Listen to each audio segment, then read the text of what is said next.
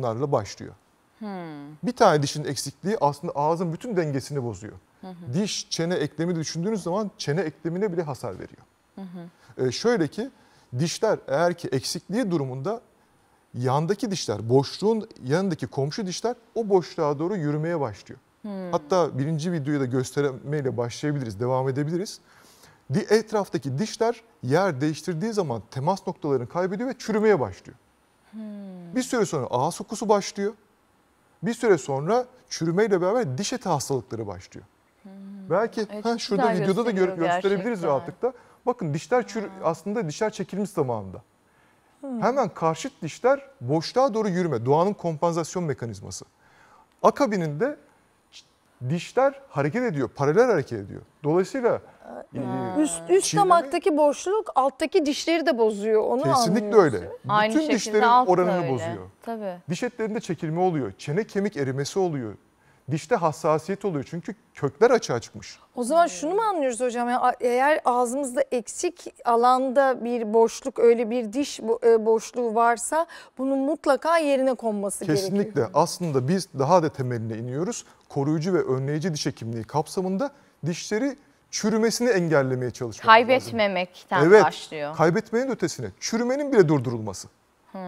Yani bu dünya çapında e, uluslararası literatürde zaten Avrupa Amerika temelli özellikle Avrupa'da dişler çürümeden koruma mantığına geçirilmeye çalışılır. O da çeşitli yöntemler var. O yöntemler uygulanarak yapılabilir. Bakın hatta biraz önce bir baştan alabilir miyiz hatta onu da devam edelim. Bakın e, diş eti çekildi. Çene kemik eridi.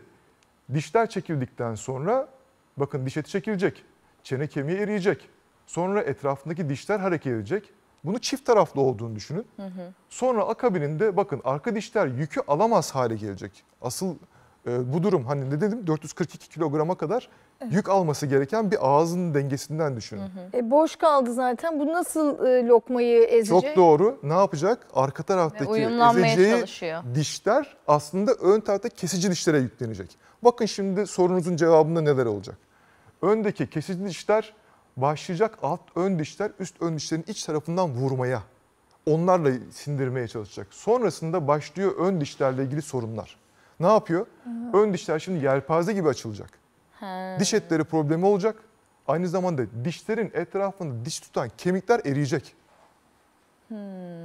Bakın Belli bir aynı zamanda bak belli bir birazdan noktadan göreceksiniz belki. Bu Aa, dişler yelpaze gibi açtıktan sonra dudak aslında genişleyecek. Dudak çok daha geniş ve büyük görünecek. Hatta üst dudak öne doğru gelecek. Bu tür durumlarda başka konulara da bakın şu anda bıraktı. Ve buradan da düşecek bu diş. Evet, evet, evet, Dişsizlik evet, başlıyor. evet, dişsizlik başlıyor. Tabii diş Aslında bir dişin kaybının nasıl eksikliği, oluştuğunu gösteriyor. evet ve Aslında- zincirleme ilerlediğini. Tek bir Sadece boşluk, çürümeyle tek değil, bir tek evet. bir dişle başlıyor. Evet. Bir boşlukla